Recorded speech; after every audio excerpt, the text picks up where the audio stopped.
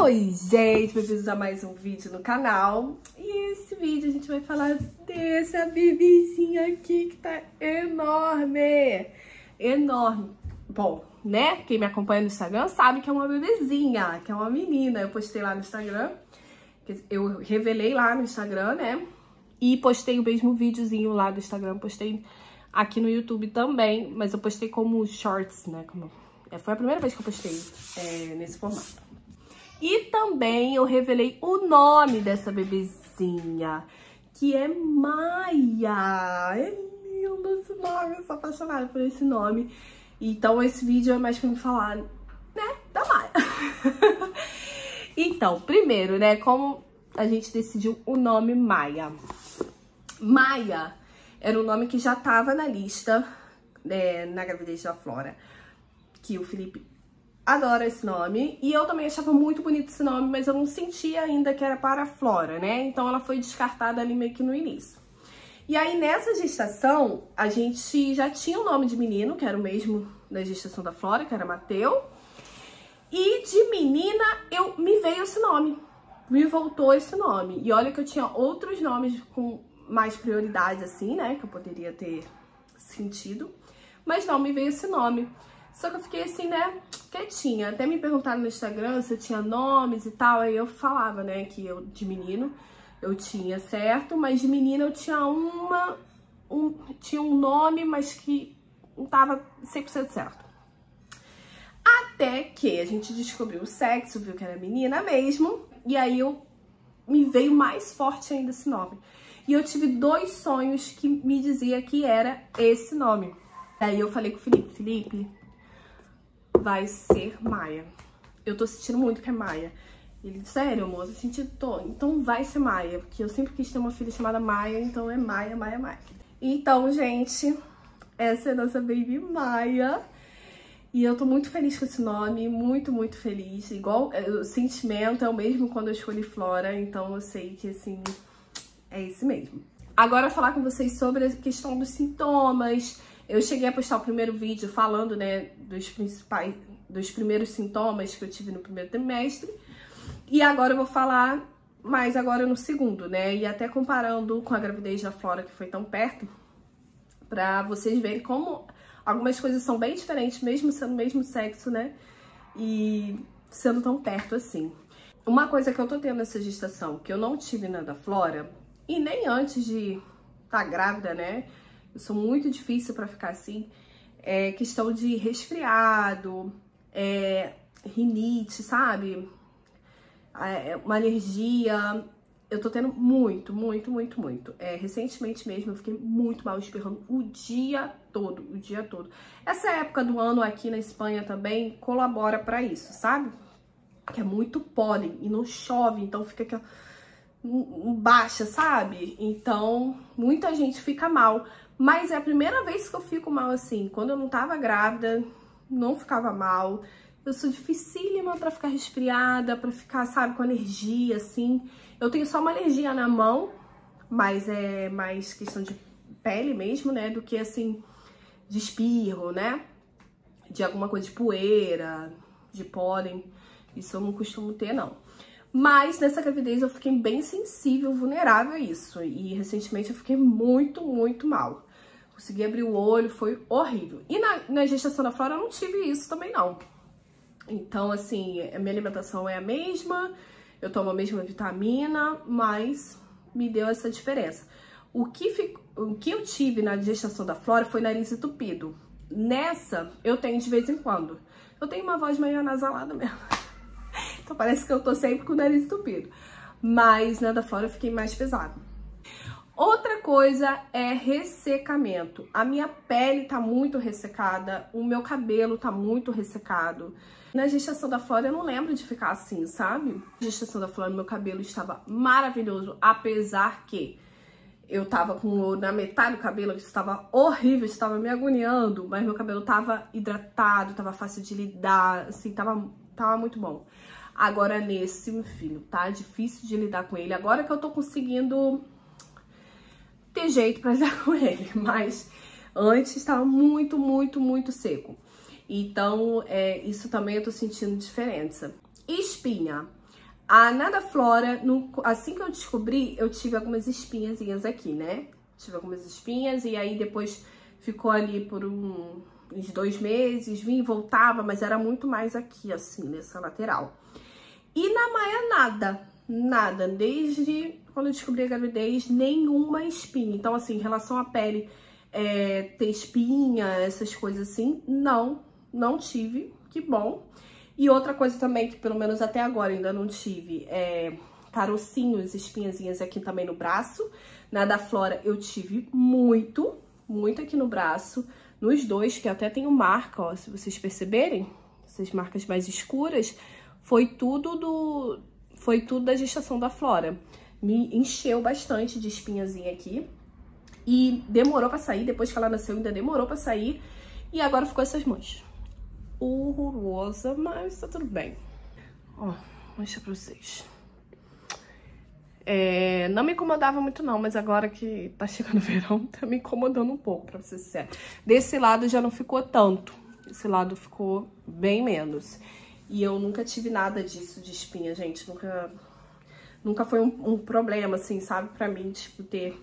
Tinha uma vez ou outra, tal, mas assim, braço não. Ó, Vontade de novo. Enfim. Bom, voltando. É, cansaço, dores, até mesmo a con é, contração de treinamento eu já tô sentindo. É, começou também no mesmo período que na gestação da Flora. Eu tô com 23 semanas agora, né? Então, na da Flora também, se eu não me engano, eu acho, eu acho que foi até com 22 semanas, se eu não me engano. E então já tô tendo as contrações de treinamento, que são, é, tem aquela contração, mas é sem dor, né? E as dores, eu já tô começando a sentir umas certas dores que eu sentia na reta final da Flora, sabe? No último trimestre, assim, uns dois meses para ela nascer, que eu comecei a sentir dores mesmo, sabe? Dores na lombar, dificuldade para dormir, sabe? Foi mais pro final. E nessa já tô sentindo agora no meio. Então, isso já me assusta um pouquinho, né? E tô mais cansada, né? Na, no segundo trimestre da Flora, eu tive mais ânimo, né? Mais energia. E disse que é normal mesmo. No primeiro trimestre você fica meio, meio mal, porque tem questão dos enjoos e tal. E aí chega no segundo trimestre, traz aquela energia, apesar de algumas dores. E no terceiro você já fica também mais cansada. E na da Flora foi foi basicamente isso mesmo. Agora, nessa né, da Maia, eu já estou cansada no segundo trimestre. Mas eu acredito porque eu tenho uma bebezinha, né? Então, assim, é, eu não posso descansar a hora que eu quero, é, levantar as pernas, sabe? Tipo, ter meu momentinho. Não. A rotina segue porque tem uma bebê, né? Então, ainda te, eu tenho que fazer as coisas com ela, eu tenho que brincar com ela. E isso é uma coisa que tá me deixando muito chateada porque eu, quando eu brinco com ela, eu brinco mesmo, sabe? Eu fico criança perto dela para brincar. Então, e eu já não tô conseguindo, né? Então, tem essa questão de você ter que agastar, agastar várias vezes para falar com o bebê. E agora já tá sendo um pouco complicado. Mas não tem jeito, eu ainda pego ela no colo. Ela é uma bebezinha, eu agasto bastante vezes também. Isso me preocupa em relação a ter alguma diástase, alguma coisa. Na da Flora eu não tive. É, mas, né, agora pode ser, né, tudo pode acontecer. Mas espero que não. Tô tentando cuidar também, né? Tentando sempre manter contraída. Enfim, tentar não pegar tanto a Flora no colo.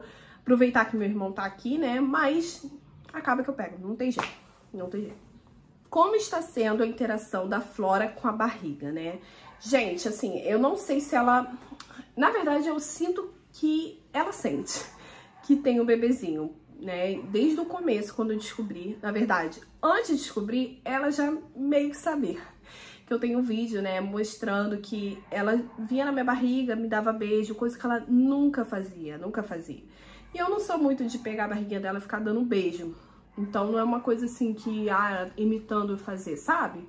Então foi uma coisa bem diferente mesmo, que eu fiquei meio assim, achei estranho, mas ok. Depois que eu fiquei com suspeita de estar tá grávida, que aí eu já comecei a suspeitar disso dela. Eu falei, será que ela tá sentindo que tem, tem um serzinho aqui dentro de mim? E aí, né, descobri que estava grávida. Ela vai, levanta minha blusa, dá beijinho, abraça, faz carinho, fala neném. É, eu acho que ela tá tentando falar Maia, porque eu falo assim, é Maia? Ela, Ma? E aí tem vezes que eu, eu maioria das vezes, né, eu falo irmã da Flora, irmã da Flora, ela fala mã, mã. Então, assim, eu sinto que ela sente alguma coisa, mas ela não entende 100%, né? Mas ela tem um carinhozinho, eu acho muito fofo, muito fofo isso dela. Apesar que ela dá um chute, ela aperta, ela quer pular em cima. Coitada da Maia, né? Mas é normal, é uma bebê. ela não tem muita noção das coisas. Isso é uma coisa que eu vou ter que ficar muito de olho, porque a Flora ama neném. Ela vê assim, neném, neném, neném. E aí, quando ela vê a Maia... Acho que ela vai querer pegar, apertar e tal. Bom, estrias, né? Eu tô usando a mesma coisa que eu usei no da Flora. Tô usando óleo de amêndoas. Tô passando óleo de amêndoas. Às vezes eu passo um creme... Um creme normal também, quando eu tô com preguiça. É, que eu não quero ficar com a mão com óleo. Aí eu passo creme. E às vezes também passo óleo de aloe vera, que é um óleo da Flora mesmo, puro. E aí eu, às vezes, passo também. Então eu fico mesclando assim, mas a maioria das vezes eu uso óleo de amêndoas mesmo. E por enquanto não apareceu nenhuma estria, né? Mas no da Flora também não apareceu nessa altura. Foi mais pro finalzinho mesmo que apareceu essas aqui, ó, que eu já tenho. Ó, essas daqui. Tem aqui nessa lateral também. E depois da... É... E aí no pós-parto começou a surgir umas aqui também que eu tenho. E no peito eu tenho algumas marcaçõezinhas, sabe? Não chega a ser elas branquinhas, mas tem umas marcações. Tenho aqui mais na frente. Mas, enfim, não me incomoda. Me incomoda até mais as que eu tenho aqui, ó. As que eu tenho aqui na frente. Do que na lateral e tal. E aqui, aqui perto do umbigo, eu não tive nada flora, né? Mas eu tô com uma leve suspeita que eu vou ter nessa. Eu acho, porque de vez em quando me coça muito. E eu tô passando, gente, óleo de manhã, de tarde, de noite. Então, sim, tem coisas que são inevitáveis. E também porque eu tô sentindo que minha barriga tá esticando muito mais rápido, né? Do que na da Flora. Então, não sei se até o final como vai ser. Minha pele tá mais seca. Então, tudo pode acontecer, né? Outra coisa, né? Nessa gravidez, tivemos um sustinho com Dona Maia. Coisa que é da Flora, gente. Gravidez da Flora, sério, foi super, super tranquila. Super tranquila. Eu amei estar grávida. Eu amei, amei, amei, amei. Todas as fases, mesmo ruimzinha, sabe? Aquelas fases que sente dor, que tu não consegue dormir direito. Mesmo me sentindo muito imensa. Eu tava com uma papada, tava com o rosto bem redondo. Eu já tô ficando na da, na da Maia que eu tô engordando mais rápido, apesar que quando eu engravidei da Maia, eu tava pesando bem menos do que na da Flora. E depois eu ainda perdi peso. E mais a, de uns dois meses, acho que dois meses, eu engordei pra caramba. Eu até, eu até falei isso lá no Instagram. E engordei muito mais rápido do que eu engordei da Flora, sabe? Então tô sentindo que já tô ficando redondinha. Enfim, né, voltando na gravidez da Flora, mesmo com tudo isso, eu estava me sentindo pleníssima, maravilhosa. Nada mais, eu já não tô me sentindo tanto não, mas isso é um papo outro vídeo. Mas, assim, a gravidez da Flora foi super, super tranquila.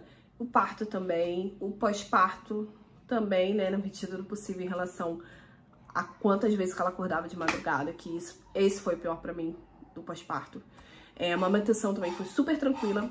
E na da Maia, o que eu posso dizer até agora é que a gestação dela foi um pouco tensa pra gente. Primeiro pela descoberta, né, meio assim, nada planejada. E outra porque ela deu um sustinho na gente, né, ficamos aí, acho que uns meses, né, acho que uns três meses tensos. E essa bichinha já veio mexendo com a gente, né, já veio nos ensinando muito também. E eu vou fazer um vídeo à parte é, explicando direitinho. Não vai demorar, prometo. Explicando direitinho sobre isso. Sobre questão de roupinhas, se eu tô comprando roupinhas e tal. E não, gente, eu não tô. Eu, eu, eu tô muito tranquila. Na da Flora eu ficava tensa, via tudo, coisa de bebê, ficava salvando em lixo o que eu queria comprar, é, comprava as coisas. Nesse assim, ó, comprei nada até agora. Tô bem tranquila, sendo que assim, eu tenho que ajeitar muita coisa, muita coisa. É, e temos que comprar bastante coisa também. Eu tenho que ver o um novo carrinho, porque é da Flora só um, né? Então eu preciso de um carrinho que seja duplo, que fosse duas bebês, né? É, preciso ver uma, uma, nova babá eletrônica, porque a Flora quebrou a dela. Uma caminha pra Flora, que a gente quer comprar uma cama de chão, sabe? Aquela de Montessori pra ela. E vou deixar o berço pra Maia. O uh, ah, que mais que eu preciso comprar? Cômoda. Eu quero comprar uma cômoda larga, porque eu quero fazer o trocador em cima da cômoda. É, na da Flora, o, trocador é no nosso banheiro, né? Na banheira dela, que é uma banheira trocador. E como ela nasceu no inverno, eu preferi deixar assim, porque aí não, não tem risco de pegar friagem e tal. Aí dava banho nela e já trocava ela ali. Mas como a Flora, como a, a mãe trocando nome. Mas como a Maia vai nascer no verão, eu acho que talvez não tenha necessidade disso, então eu já quero uma cômoda larga. É, e ali eu posso botar o trocador em cima. A Flora também já tá grandinha pra ficar nesse trocador de banheira, sabe? E ficar em banheira também. Então, eu começar a tomar banho no chuveiro. E a gente já dá, né, alguns banhos nela no chuveiro. Mas às vezes eu dou na banheira mesmo porque, como eu tô grávida, ficar agachando é horrível. Então, pra mim, ainda tá sendo mais confortável. Mas, depois que a Maia nascer, vai ser só chuveiro mesmo. E aí, a, a Maia que eu vou ver uma banheirinha pra botar no, no chuveiro também, sabe? De chão. Até pra ter, a gente ter mais espaço no nosso banheiro, porque a banheira é enorme, né? Bom, esse é o meu pensamento. Não sei se vai ser realmente assim. Talvez eu continue com a banheira com trocador também. A minha mãe que comprou um kit de meiazinhas, é uma manta, brinquedinhos assim. É, a Flora usou tão pouco brinquedo, gente, então eu acho que eu nem vou comprar brinquedo. Na verdade, eu acho que eu só vou comprar um que é tipo um... que faz esse barulhinho assim, ó, de plástico. É um tecidinho e por dentro tem isso aqui. Não sei dizer não. Mas acho que eu vou comprar só esse daí que eu acho interessante, que a Flora brincava muito com isso, porque ele tem no tapetinho de atividade dela, que vai ser aproveitado na Maia também tem um negocinho que é assim, que é um tipo um livrinho, e aí você aperta tem um barulhinho do plástico. Ela adorava. Então acho que eu vou comprar um desse pra ela ficar na mão, assim. Mas resto tem naninha, tem brinquedinho que tem mordedor, tem brinquedinho que faz barulho. Então, assim, eu acho que eu não vou comprar nada, não. Ah, outra coisa, a Maia mexe muito mais do que a Flora. Eu achava que a Flora mexia bastante, mas a Maia, a Maia mexeu bem mais cedo que a Flora e mexia muito. A, a Flora mexia, mas nem, nem parecia assim que ela tava mexendo fora da barriga, era só eu que sentia mesmo. Agora a Maia, a Maia mexe com força. A Flora tinha dia que sim, tinha dia que não, por isso que eu não ficava tão noiada quando não mexia, sabe? Que eu vejo que tem mãe que fica preocupada, né? Tipo, pô, tá mexendo todo dia e hoje não mexeu. Tu fica preocupada. E na Flora eu não tinha essa preocupação, porque ela mexia um dia sim, um dia não. Ficava assim, sabe? E a Maia não. A Maia todos os dias, principalmente quando eu vou colocar a Flora pra dormir. Eu sinto ela bastante. É, durante a manhã também sinto ela bastante. Então, assim, eu tô sempre sentindo. Agora, quando eu não sentir, eu acho que eu vou ficar noiada, vou ficar preocupada. Pra filha, mexe aqui com a mamãe. Então é isso, gente. Esse aí é mais um diáriozinho da Dona Maia que logo, logo vai estar aqui com a gente. Eu não vejo a hora. Estamos muito ansiosos para a chegada da Maia. Espero muito que vocês tenham gostado. Se tiverem alguma dúvida, querem saber de alguma coisa, coloca aqui nos comentários ou vão lá no Instagram. Pode perguntar lá para mim também, que eu respondo com o maior prazer. Um beijo grande. Não esqueça de curtir, comentar, compartilhar, se inscrever no canal. E até o próximo vídeo. Tchau. Gente, tchau.